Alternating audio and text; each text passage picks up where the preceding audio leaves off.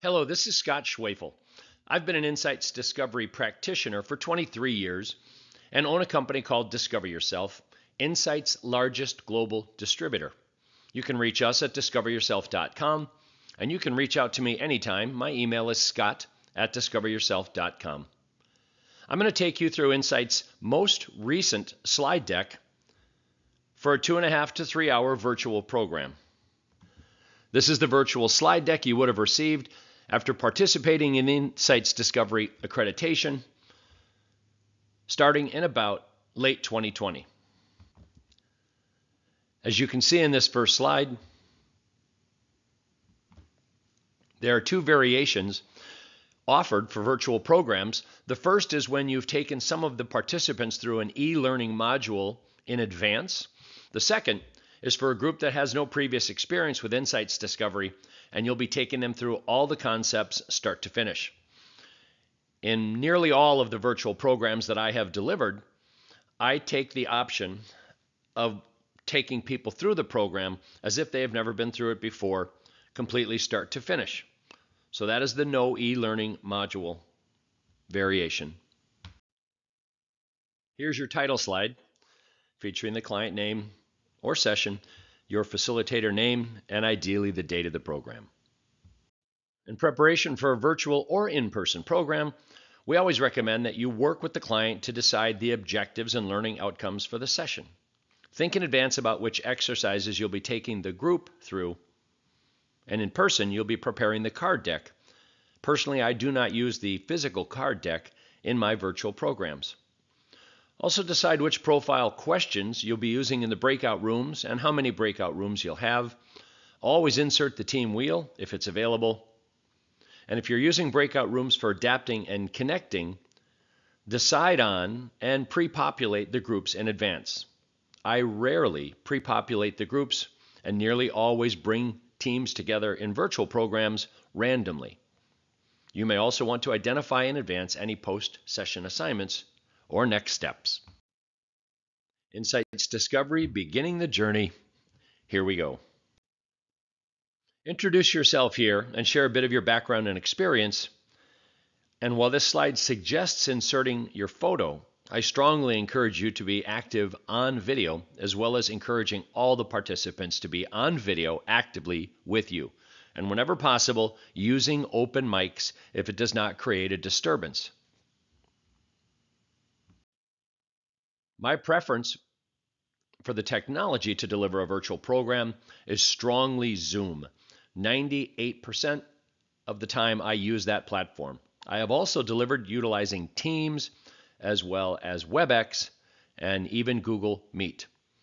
But when possible, I always encourage clients to use the Zoom platform. I invite them to say hello and introduce themselves or tell me where they're from to test the audio or to type into the chat where they're physically located to make sure they've got access to it as well. After that, we're ready to start. Share with them why we're taking them through an Insights Discovery program. Let them know we focus on improving personal, interpersonal, and team effectiveness, and that Discovery provides a common language about what drives our behavior in the workplace. Also, it's grounded in the work of Carl Jung.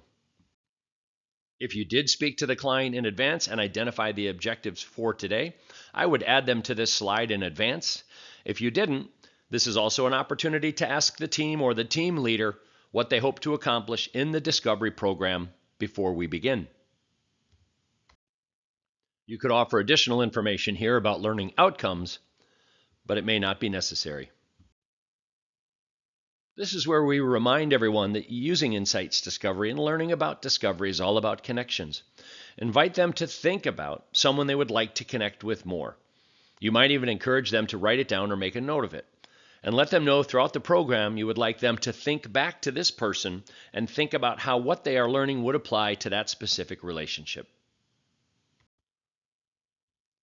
Now we're at the heart of the discovery program the enhanced self awareness that comes from a deeper understanding of who am I. I would invite them to answer this question, and one of my preferred ways is to invite them to come up with an alliterative adjective and type it into the chat. I give them examples of what I might say. My name is Scott. I might come up with speaking Scott or smiling Scott or standing Scott. And then I invite them to do the same and type their alliterative adjective with their names into the chat.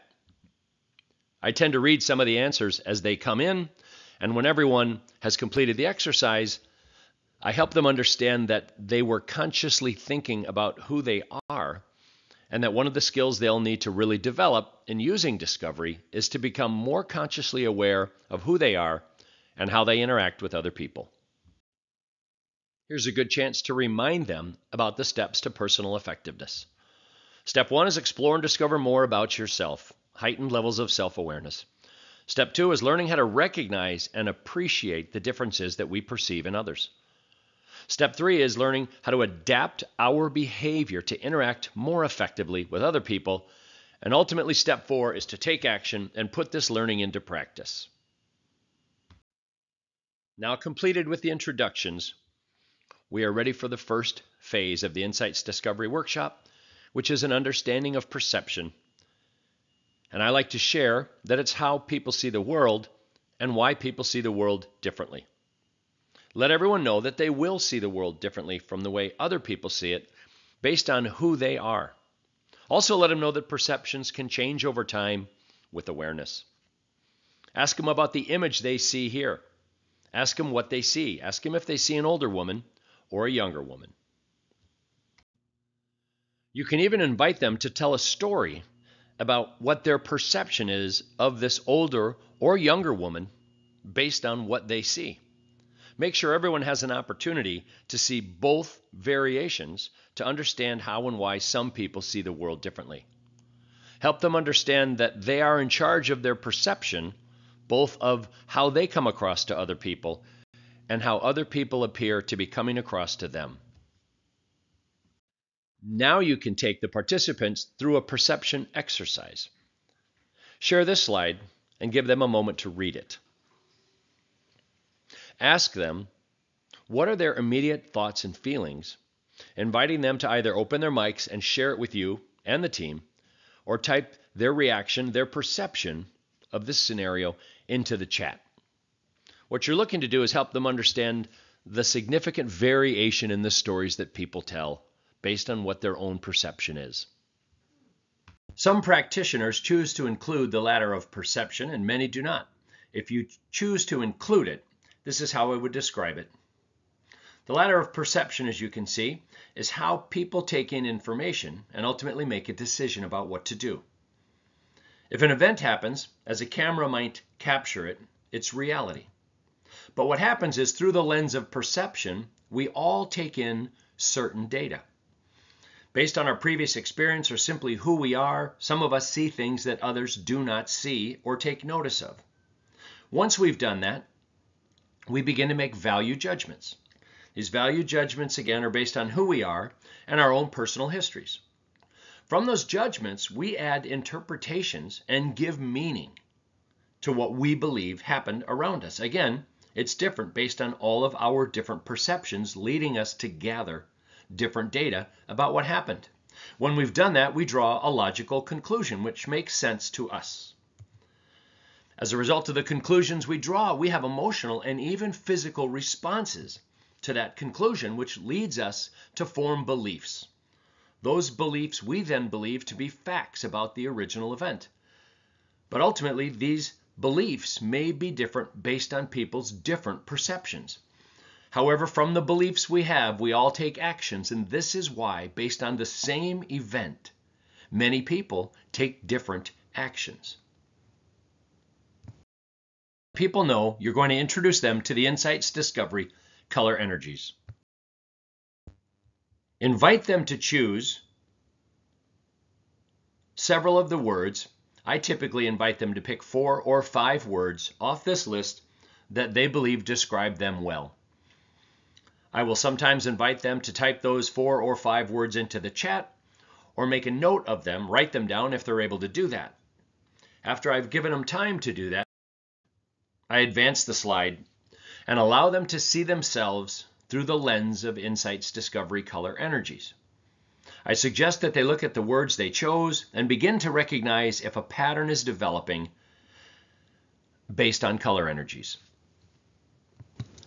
I invite them to consider if they are seeing a pattern, look at the other words that also match the color energy they seem to have selected most and see if those words fit them as well. I suggest that this may be the beginning of understanding their leading color energy. I also might invite them to pick a few words that they strongly disagree with. And again, invite them to recognize that this may be their lowest color energy. I invite them to think about what might be their last and leading color energies, and then introduce them to one more exercise. I invite them to read these four statements and consider which one is most like them. I remind them we're focused on the statements at this point and not the color energies. I let them know they do not necessarily need to make any notations or share anything in the chat. I just want them to consider themselves through the lens of colors. When I bring up the next set of cards, I invite them to choose which statement is most like them, but also which statement is least like them. And again, not taking any action, simply thinking about the order in which they would place these color energies. Now I share with them, I'm going to further explain the Insights Discovery color energy mix that's different for every one of them, and the fact that there are 24 unique combinations. I'll first describe fiery red, which we all know to be competitive, demanding, determined, strong-willed, and purposeful. Especially in a virtual environment, I will try and use the tone of voice that helps match to the color energy that I'm describing. So when I describe fiery red energy, I will also speak in a fiery red tone. Now I take them a little deeper in understanding red energy, sharing how it shows up in these situations, but also invite them to consider for themselves when might they have demonstrated strong red energy and consider do they have a lot of fiery red energy or not so much. Earth green. I let them know that people who lead with earth green energy tend to be more caring, encouraging, sharing, patient, and relaxed. And again, to the best I can, I try and demonstrate an earth green tone and pace. Again, showing the contrast between earth green and its opposite, fiery red. Always make sure to mention the dynamic of opposites between fiery red and earth green, and of course, sunshine yellow and cool blue. Also let them know that some people's top two preferences may in fact be opposites. And in fact, Carl Jung called those creative types I let him know that I'll talk about the gifts of those creative types later as we get into the program more fully. Next, I go deeper in my conversation about earth green energy. Again, inviting them to consider when have they used or shown green energy and to consider do they have a lot of it or not so much. Next, I share with them sunshine yellow energy and the fact that yellow energy tends to show up sociable, dynamic, demonstrative, enthusiastic, and persuasive. Woohoo! I let them know if they lead with yellow energy, they like when I make sounds like that, engaged heavily in the moment. But if they don't have high yellow energy or possibly high blue energy instead, that might be an irritating sound. That usually gets a laugh. Again, here I'll take them deeper into the understanding of how yellow energy shows up and ask them to consider when have they demonstrated yellow energy themselves and do they have a lot of yellow energy or not so much. Lastly, but certainly not least, I invite them to consider cool blue energy, cautious, precise, deliberate, questioning, and formal. And consider, is this possibly their leading color energy as well? I talked to them about the dynamic of how Cool Blue shows up with less emotion and the desire to seek as much data as possible to help make decisions. For a look at Cool Blue Energy as well, again, sharing these different scenarios and inviting them to consider when have they demonstrated Cool Blue Energy in their own lives. At this point, in sharing the fact that we've gone through all four of the color energies, I again remind them to consider What's the order in which they believe they demonstrate the colors? At this point, I would typically insert a slide showing the blocks stacked in order, but that's because in almost every opportunity we have, we ship full materials to participants even when they are working remotely. We feel at Discover Yourself it's very valuable that people have the actual physical tools, even if working remotely. And as that's typically the case, this is where I would invite them to hold up their blocks in the order that they believe they show the color energies. I would stop sharing my slides so they can all see each other, and I would encourage them to open their mics and talk to each other as they identify people who are similar to their style, and even to call out and look for people who may lead with their opposite energy. It's a great exercise and very engaging, allowing the participants to begin to see each other through the lens of colors. Occasionally, we will not have the opportunity to ship physical materials to participants, and if they are simply working from a PDF copy of the profile and virtual materials, instead of stacking the blocks, we would invite them to type the order of their color energies into the chat. Again, looking to see whose color orders might be the same as theirs, and also looking for people, teammates, who might be different from them. I'll again share with them the overview of the Insights Discovery color energies, reminding them of the dynamic of opposites, red and green being opposites, blue and yellow being opposites, and also the reminder that some people, about 9% of our profiles, demonstrate people who do lead with those two opposite color energies. As they've claimed their leading color energy, I'll invite them to consider it again, and now I'll share with them the risk of overusing the gift of their leading color energies.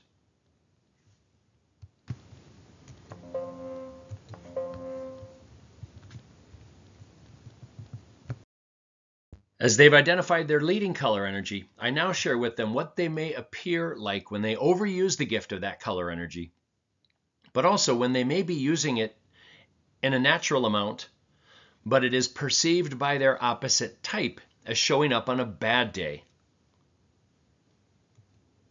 I'll walk them through four styles and then move them into the understanding that no one is labeled as just one color ever that we are all a combination of all four color energies, and that at times we rely on the energy we lead with, often what's second, sometimes what's third, and rarely, but sometimes, we're able to demonstrate our lowest color energy.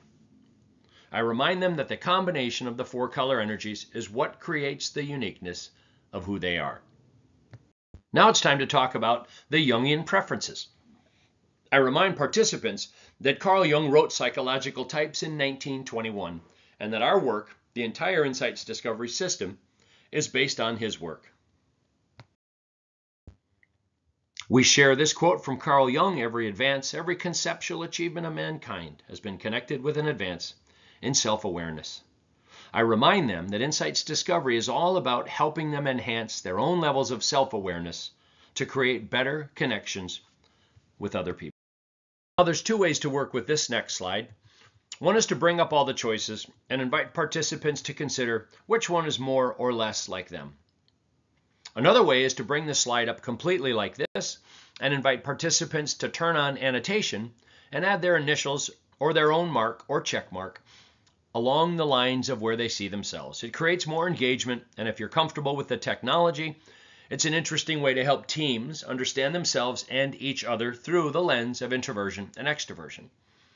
If you're simply allowing them to make a choice where they fall based on all of these options, ultimately I would invite them to type into the chat whether they believe they are more introverted or more extroverted. Next, in a similar fashion, invite them to consider Jung's decision making functions, thinking, and feeling. Invite them to look at the words and consider where they fall in the spectrum between the two extremes and either have them decide and type the answer, thinking versus feeling, into the chat, or as we said earlier with Jung's attitudes, invite them to consider on the spectrum where they might annotate their initials or a mark or check mark, and again engage the group in that way if you're comfortable with the technology. You're now able to show them how we layer Jung's attitudes and decision making functions around the Insights Discovery Wheel. Remind them of the four colors and the descriptors fiery red, sunshine yellow, earth green, and cool blue. Share with them that red and yellow energy are more extroverted, and cool blue and earth green are more introverted, also that cool blue and fiery red on the top of the wheel are thinking based, logic based decision makers. And people who lead with more green and yellow energy tend to be feeling based, people based, relationship based decision makers. You can take the learning deeper if you'd like to use these animations, reminding them about blue and green being more introverted and red and yellow being more extroverted. Again, reminding them blue and red energy at the top of the model are thinking based decision makers, and green and yellow energy at the bottom are feeling based decision makers. You can share with them that the reason we define the color energies the way we do is because of the Jungian attitudinal functions that sit underneath them. Remind them that fiery red is Jung's extroverted thinkers. Sunshine yellow is extroverted feelers. Earth green is introverted feelers. And those who lead with cool blue are Jung's introverted thinkers. Now let me say a couple things before I move into this next slide and into the entire concept of Jung's perceiving functions, sensation, and intuition. I will rarely bring sensation and intuition into a primary two and a half or even three hour virtual workshop. There are, however, some practitioners who do.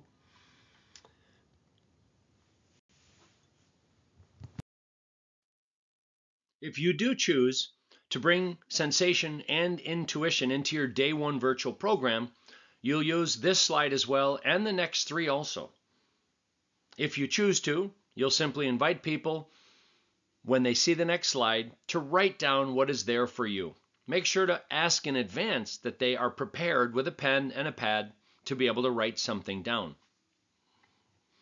Again, I typically would not include this portion of sensation and intuition and the next few examples in a day one virtual program. I don't believe that you are losing any of the impact of a day one program. And again, if you're comfortable with the content and choose to do so, it also works very well. In addition to cueing up this slide by the previous slide, you may also simply delete the previous slide. And when this slide comes up, I like to say, write about this slide. I have found that that question delivers some of the best results. Again, simply asking them to write about this slide. It's very important to cue it up that way so that you don't skew people towards sensation or intuition unintentionally. Allowing them time to write down what their thoughts are allows them a chance to identify individually if they potentially lead more with sensation or more with intuition, which we'll define for them based on what they wrote in just a moment. In explaining sensation again and intuition, we help them understand that that which is brought into us through our five senses, in this case, seeing what's on the slide, leads people to write down exactly what's there horse, sun, grass, orange sky. Intuition is quite different. Intuition is information that comes to us not through our five senses. Some people call it a sixth sense. And again, remember, Jung brought it up and wrote about it in 1921. Those with strong intuition tend to write things that aren't actually on the slide, but information which has come to them such as friendship, open space, freedom, companionship, peace, love, joy. Many times, they'll even tell a story or make up a story. In fact, people with strong intuition often will not even have the word horses in the description that they wrote down of the slide. Help them understand the differences are essentially how people take in information. And again, to be able to go a little bit deeper, we offer one more slide on this topic. I misspoke. It's two more slides. This is simply a recap of that spectrum again, potentially inviting them now with deeper information to consider where do they fall between sensation and intuition. And in this final slide, it's where we share the understanding that within each of the four color energies, both sensation and intuition exist. And again, most practitioners do not include this information in a day one virtual program, but if you've chosen to do so, help them see how fiery red can be divided by those who lead with fiery red and gather information through their senses and share with them that means driven to achieve completing tasks with an organized hands on approach. and that people who lead with fiery red and gather information through intuition, in this case, challenge authority by seeking to break free from convention. Move through the slide as you share these combinations, again inviting the participants to consider, based on their leading energy, which side do they see themselves on, sensation versus intuition. Again, one final comment. If you as a practitioner are comfortable with these previous five or six slides focused on sensing and intuition, I invite you to use them. If you're just getting started and want to begin to deliver the workshop, you might learn through the absence of this section, and at some point when you feel more comfortable, add it back when you're ready. Here's a final summary of all eight types, leading with four color energies again divided by those who use sensation versus use intuition. Now, in the final summary of Jung's psychological preferences, share how we are oriented towards our environment, introversion versus extroversion. Share how people gather information, secondly, if in fact you've chosen to include sensation and intuition, so that you are sharing these in the order in which we use them and finally share how we make decisions based on information that we've gathered, thinking based on data, facts, and logic, or feelings based on people, feelings, and relationships. If you, like most practitioners, have chosen not to include sensation and intuition in your virtual program, delete that section from this slide and simply summarize introversion, extroversion, thinking, and feeling now let's move into the actual profile itself. If you've shipped actual physical materials, invite them to open up their physical printed and bound profiles. And if you're working with groups that only have a PDF access, allow them to have access to it on their screens to be ready to work with it.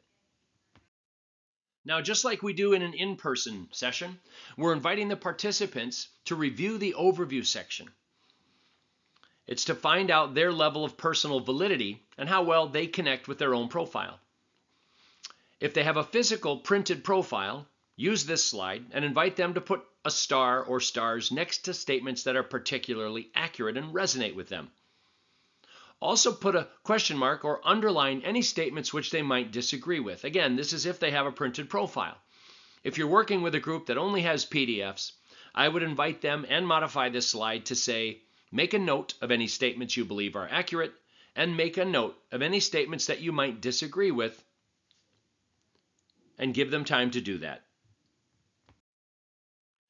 Now, as they've just completed validating the profile and identifying key statements, both that they identify with and that they disagree with, before I dive into sharing this, I invite them into breakout rooms, randomly put together in groups of three or four, to share what they starred and also in talking with teammates who know them well, share what they underlined or question marked in disagreement and invite teammates to give them feedback on those statements. This is always the first breakout that I like to include in my virtual programs.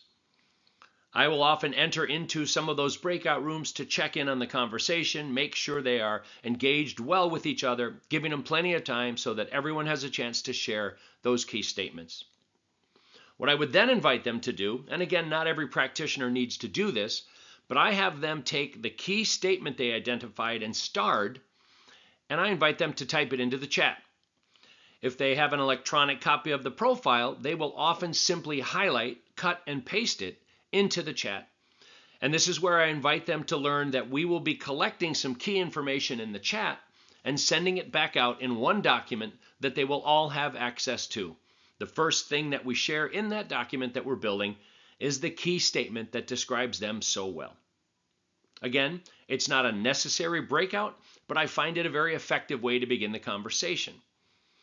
If you choose not to do it, you'll move right into this slide. If you choose to do it, give them time to complete it, type those key statements into the chat, and then move them here to the evaluator frames and how we created their graphs. At the same time, I would start again here. I would invite everyone to go to the last page in their profile so they've got their bar graphs right in front of them. Now on this slide, I would invite them to understand that we really asked just one question 25 times in a row. And the question was how much yellow, green, red, and blue energy do you have? Again, same question 25 times in a row. I would share with them that even though there's a least and a most, the scale is still linear. So that least represents zero and most represents six. We've taken their 25 answers and put together the average to produce for them the graph on the left. This graph on the left is their conscious persona. This graph on the left is who they are when they're thinking about who they are. If you move through the slide, it will remind you of these key concepts as well. Make sure that you advance the slides that have animation to make sure that you are able to speak to all the content that's ultimately included.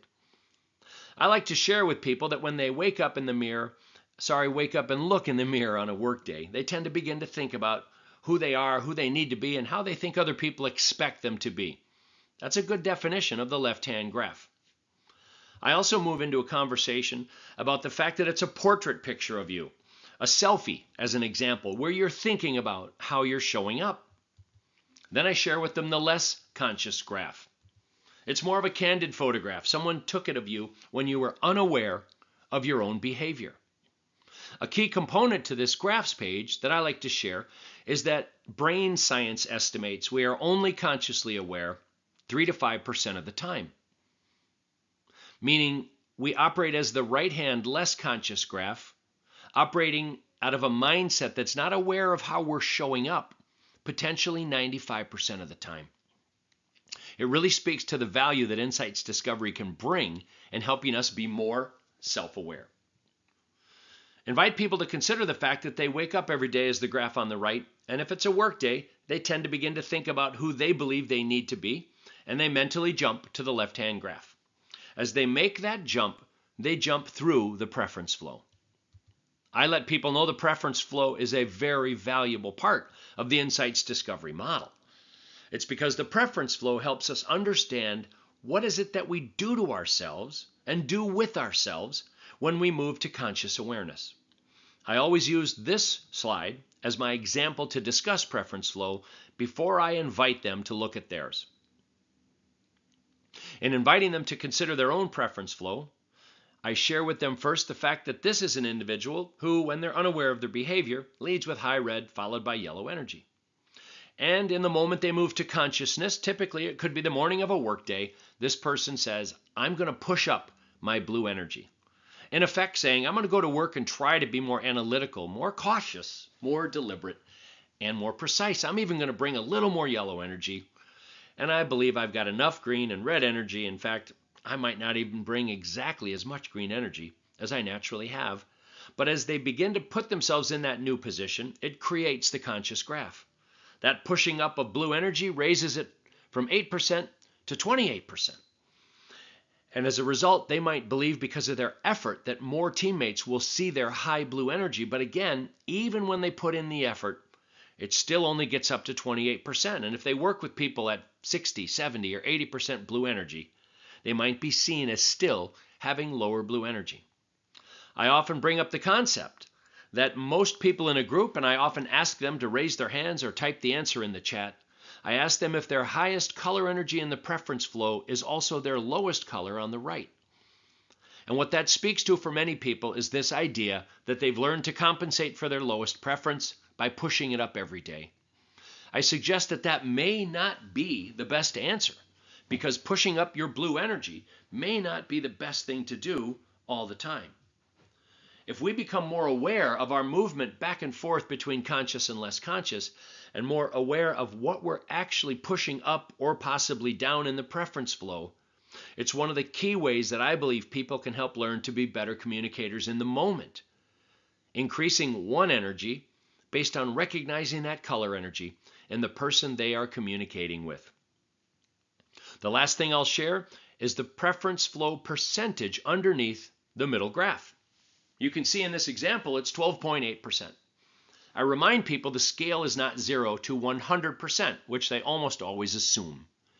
I share with them that the scale is from negative 66.7% all the way up to 66.7% positive and also that in a bell curve, most people come in around 35%. I always stress there's no good or bad preference flow percentage. But what it does indicate is the intensity with which we feel these changes to our natural color energies. What I remind people of is that while some people may experience tension, stress, and anxiety on a Sunday afternoon when they think about work, there's a number of people who experience thrill and excitement at the same time. Our perception determines how we feel. But I always invite people to consider if when they think about becoming who they need to be for the work that they do, and it's an unpleasant sensation of any kind, they should really begin to question what about their preference flow is prompting them to feel that way. And is that preference flow pattern necessarily the best for them? This is where I will invite people into a second breakout. Our second breakout is for people to dive in and share their graphs with each other, share their preference flows, and share their story. If they have a printed copy, I invite them to hold their graphs up to their camera. If they have a PDF copy, I always have Zoom set so they can share their screens with each other. Here you see the Insight standard slides also include a slide indicating that second breakout room activity the sharing of the profiles with each other. Again, this is one where I would always try and get into as many break rooms as I can as the facilitator because there are always questions in each of the rooms as we go in. I remind everyone before I put them again randomly, and this is new randomly created groups. I always recreate the groups between each breakout activity, but always remind them that they've got the opportunity to call you as a facilitator into the rooms if they have a question. I always allow for eight or 10 minutes and again, I'll always check in with some of the groups to make sure they have had enough time to have rich conversations, as I think it's one of the most important parts of the Discovery Workshop. Now, as people are coming back from what would be my second breakout, it might be your first. I drop my slides and stop sharing so they can all see each other. And I'll ask as they come back if anyone has any additional questions about the graphs. I'll prompt them for comments about the conversations they had but again, most importantly, the goal is to make sure that everyone clearly understands less conscious and conscious graphs and the preference flow and what it means to them, as well as the preference flow percentage. If I believe everybody has that rich understanding, I invite them then to look at the page just in front of the bar graphs and let them know we're now going to look at the Insights Discovery 72 type wheel. By the way, just a comment, if we've sent physical materials to the participants, the one thing we do not send in advance is their team wheel. We have found that the anticipation of teams being able to see the team wheel delivers a much better result than allowing them see it in advance. So, in sharing the Insights Discovery, Insights Discovery 72 type wheel, what are some of the key things that we share? We talk about the fact that there's only two things that determine your wheel position. One is the order of your colors, and secondly, is the number of color energies above or below the midline.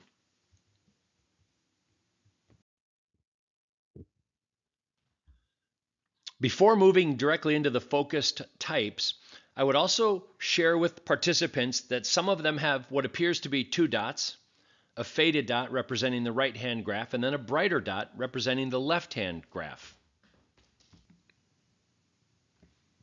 while others may have what appears to be just one bright dot, but it actually is the less conscious and the conscious dots on top of each other. Share with them that because the two things that defined where wheel positions fall are the order of the colors and the number of colors above and below the midline, that those participants whose color order is the same in both graphs and who have two colors above and two colors below the midline in both graphs will show what appears to be the one wheel position. Remind people that have two dots that it's the bright dot that is their wheel position. With that knowledge, share with them that if they fall into the outermost ring, and again it's the brightest dot here, they fall into the focus type. It only happens 3% of the time, and what it represents, as you can see in the graph example, is someone who has one color energy above the midline and three colors below. If you move to the classic type, remember to share with them that this is where most people fall, which is relying comfortably on their top two colors above the midline while having two color energies below the midline. It happens here in the middle ring and 54% of the time. If someone falls into what we call the accommodating type, it means they have three color energies above the midline and fall in the innermost ring. It happens 43% of the time. Remind people that people who fall in the accommodating ring may have more access to more color energies because they have three above the midline and as a result might have more opportunity to make connections with other people with other color energies, but that anybody who chooses to pull up color energies for the benefit of other people can always become the best communicators. Next is to remind people about the gray spokes and the fact that they represent people whose top two color energies are opposites. The reason the spokes are gray is they represent people's ability who fall in the creative position to jump back and forth across the wheel, demonstrating stronger versatility and demonstrating not only their top two leading color energies, but all four color energies as a result of their less conscious combination as well. Again, remind people there are unique gifts to the creative types, as sometimes people may feel called out in that position, as there's only one or two in most of the groups you will be working with. I would also always walk around the eight types of the wheel and give an explanation of those labels. If they have the tools such as the reference guide, invite them into the pages of the reference guide that explain the eight types. And if they're working with simply the PDF version, again, also share with them the meaning of the eight types can be found there.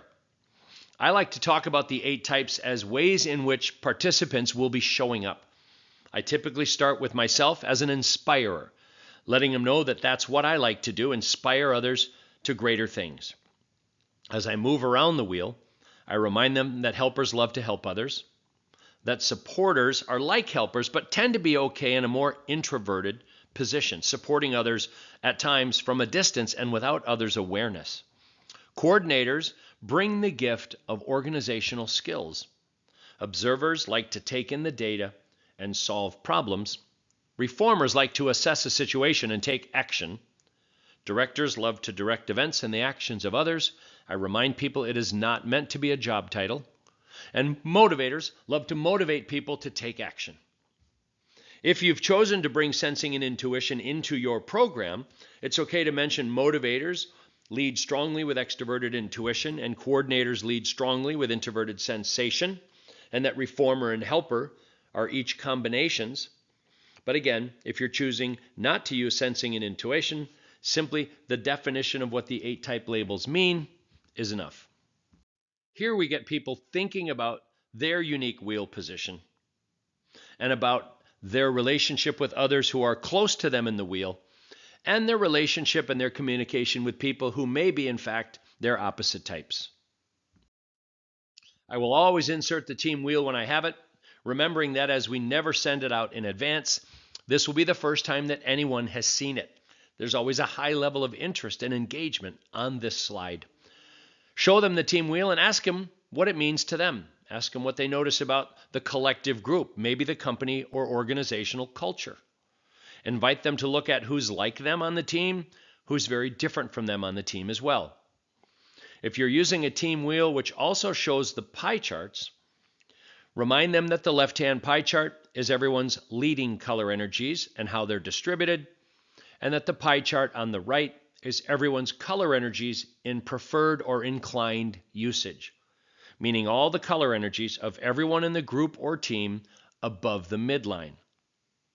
I always allow the teams time to look at the listing of all the participants and explain that over on the right is the listing and order of everyone's color energies, and that the blue line between the circles or colored circles representing the individual's color energies represents the midline.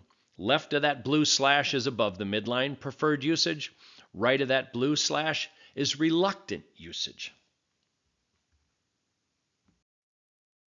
Okay, here in the workshop, I might pause and remind participants of what we've been through so far. The fact that we've discussed perception and how people see the world differently, the good day, bad day color energies and creative types, and Jung's preferences. Then we dove into the profiles and shared conversations there. there's always additional conversations that could be had if time allows. One that I often insert is the conversation about communications preferences. It will often be the third breakout that, that my groups engage in, and it's simply going to pages 10 and 11, effective communications, and highlighting the one most important to each of them. What's the communications do, and what's the communications don't? Once they've identified them, I'll randomly put them into breakout rooms of three or four people, inviting them to share with teammates what they want teammates to understand that they would do in communicating with that person and what they would try not to do in communicating with that person. I'd give them again about 10 minutes. And then when inviting them back, I would also create the opportunity for them to type into the chat their communications preferences, highlighted by starting with the words do and don't. Again, it's part of the worksheet that we will compile and send back out to all the participants. It also makes for excellent conversation and a very good third breakout in the way that I deliver those workshops. It's helpful to add a slide to remind you to do that, but you certainly don't need a slide and can insert it anywhere it seems to make sense. That being said, now we would move to recognizing types. What I always share with participants here is that everything we've done up until this point has been focused on them and their levels of self awareness. And in fact, the profile has been the key component for all of that. What I share with them now is that either the reference guide, physical reference guide, or the virtual reference guide are tools that we now move to to begin to look beyond ourself and our own graphs and wheel position to understanding how to identify the uniqueness of others we share with people that they've got constant opportunity to recognize type in other people. Not just people that they work with, but personal relationships and even people they don't know, people we pass in the hall, or people we might share a ride with in an elevator. What we want to do is become more consciously aware of our ability to put people into the four color energies, again, thinking about them in terms of introversion, extroversion, thinkers, and feelers looking for high or low levels of emotion, high or low levels of engagement, and high or low levels of interest in detail as examples. Think about every time you meet someone attempting to understand where they fall in the insights discovery model. Here's some ways people might consider doing it. Consider for fiery red and sunshine yellow is it someone who speaks to think? While they're thinking, they're always speaking out loud and putting their ideas out in front of everyone. Or someone with more blue and earth green energy might be very quiet as they're thinking, and they completely think out what they're going to say before they say it so that it is very complete when they do. Obviously, you can see in the graphic, blue and green energy tend to be more quiet, red and yellow energy tend to be more loud, more talkative. The second step, again, is identifying more formal or informal based on people being more of a thinker on the top of the model and a feeler on the bottom. I believe people with green and yellow energy tend to show more emotion, and people with blue and red energy tend to show less emotion. Again, in the combination of extroversion coupled with feeling based decisions or sunshine yellow, they tend to show the most emotion. And cool blue Introverted thinking tends to show the least emotion. Fiery red, leading with extroverted thinking, tends to always be engaged in activity, getting things done. And the opposite, earth green, introverted feeling, tends to be all about supporting, taking care of, and paying attention to other people. Give people the opportunity to go back to the single individual they identified early on in our program that they wanted to make a better connection with and invite them to think about where would they put that person in the model. Invite them to consider a spouse or a partner or people they manage or maybe their own manager. Where do they see others in the discovery model? One of the opportunities that we have every day and even 50 to 100 times a day is to send better emails, thinking about people's unique communications preferences. The simplest way is to look at the emails you receive from someone and send back something similar. What are the clues we're looking for? Here's an example of an email you might receive. What do you notice about it right away? Not a lot of detail, lots of exclamation points. Post this slide up and ask your participants to open their microphones and share with you what they see, or invite them to type it into the chat. After you've allowed them to engage with it a little bit, remind them that it demonstrates a preference for sunshine yellow energy. When you've done that, remind them if they receive an email like this, they need to write an email back. How about this email as an example? Again, invite the participants to tell you what they see or type into the chat what they see. Lots of detail, no greeting, no emotion. Suggests a preference for cool blue energy. Continue through the examples. Remind them, again, after receiving their input to what they perceive this to be, that an email with um, a tone that seems calm and kind and connected and caring and very relational is likely going to be someone who leads with Earth Green. Write back an email that's calm and caring and relational. And also remind them that not everybody wants to receive an email that might be written specifically for fiery red.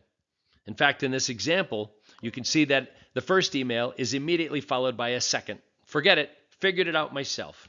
Let them know this could be a preference for red energy. The whole idea is on a daily basis, pay attention to emails you receive, think about them in light of the color energies, and write back a better email for the benefit of others. Ask your group if they believe you can pick up on personality styles with just a short text message and share with them some of these examples. Again, looking to recognize type in as many ways and as often as we can during the workday and with our personal relationships as well.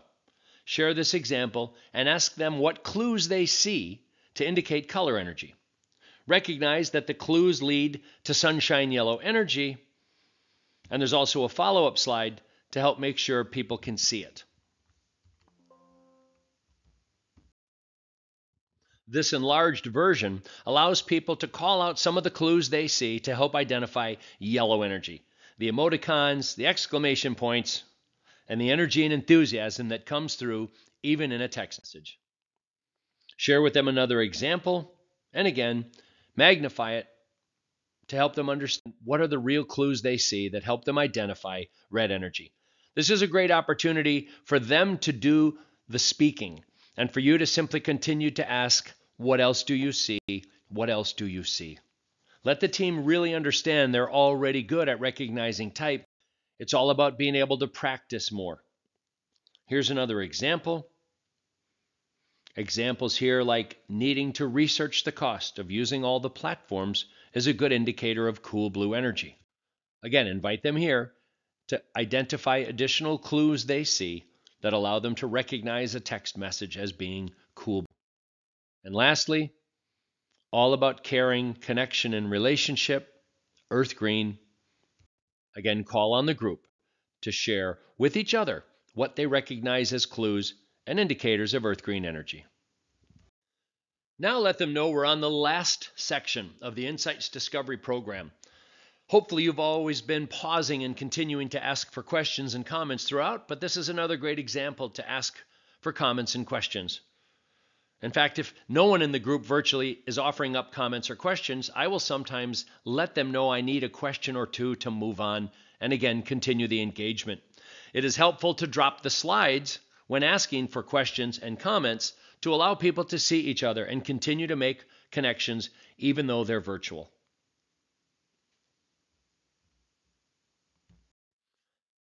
Again, if you're using physical materials, remind people that the Foundation's reference guide is filled with great information about adapting and connecting, as well as recognizing type. And again, if you're working just with a PDF, remind them to look at the virtual Foundation's reference guide that we will include every time we use PDFs only. Remind them that adapting and connecting to Cool Blue is to be prepared and thorough and not be flippant. Walk them around the examples, each time pausing to ask them, based on their leading color energy, what else? What else would they like teammates to know about adapting and connecting with them? It's another great opportunity to have a conversation where you're pulling information from the participants to help them see the color energies in themselves and also comfortably share with teammates how they would like to be communicated with. While I've used many variations of this exercise in my in person workshops, I have found it quite difficult to pull off this type of exercise in a virtual environment. It's because it's difficult to allow people to choose a room together to move into a breakout to have this conversation. And it's also just as difficult to predetermine rooms to put partners in so that they are, in fact, connected with partners who lead with different color energies. What I might consider is a random breakout room with three or four people, or four people to five, so that there's the potential for partners in those groups to just simply talk, identify opposite or different color energies, and have conversations. I haven't done that, but I think that would be a good way to consider bringing this exercise into a virtual environment. This is a suggested scenario to go along with that exercise. So while people have been placed in a breakout room and are talking to seek out people with different or opposite color energies, you could broadcast this message to each of the breakout rooms using either your voice or the message broadcast function to give them some scenarios to work through in the breakout. Again, taking time to enter into some of the breakout rooms to make sure the facilitation is covered and the breakout rooms and the conversations are working well. In bringing people back after that final breakout, if you chose to include it, or in simply stopping to share your PowerPoint, to invite them to share their personal feedback on how the program went for them and what actions they will take to me, that's an excellent way to close out the session. You could also create one final breakout if you chose not to do the previous scenario, and in the breakout rooms, have them commit to teammates in groups of three or four what they will do to put discovery into place. Remind them when they come back from that breakout, if you choose to do it, that personal development is that we are what we repeatedly do, and that excellence is not an act, but it's a habit from continual practice and participation. Remind them that the journey continues beyond the discovery workshop and invite them to think about what did they discover about themselves? Also, what do they appreciate about the styles of others? Recognizing those with styles like theirs and their opposite types as well. Ask them to again commit to how they will adapt their behavior. Even to enter something into the chat is another possibility. And remind them about what's the key action they'll take to be able to keep discovery alive. There's always additional resources, Discovery Insightful Strategies Job Aid, allowing them to support the remembering of characteristics, communication tips, and the preferences of all the color energies. We always use the full reference guide um, when we're able to send that out physically, or the mini reference guide, uh, which can be shared electronically. As you see here, the suggestion is a color block image the idea here is that these are virtual support resources. Again, I strongly encourage you as a practitioner to bring in, at a minimum, blocks and reference guides, or blocks and some physical job aid to help people implement the insights discovery model to receive the greatest impact over time. Thanks very much for joining me. I was hoping to keep this under one hour, and we did again. My expectation is this content will take you two and a half to three hours to deliver in a virtual environment. And again, my name is Scott Schwefel. My contact information is scott at discoveryourself.com. Reach out to me with any additional questions you might have. Feel free to call me also with your questions. My number is 952 454 4065. If you'd like to reach out through our company, Discover Yourself, our website is discoveryourself.com.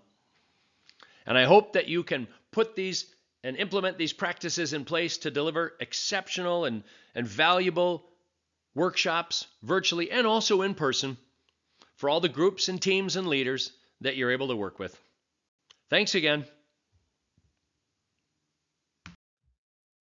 Again, here's my contact information. I'm Central Time Zone in North America, and if I can help you out in any way, please reach out. Thanks again for joining me for the last hour. I hope you found it helpful.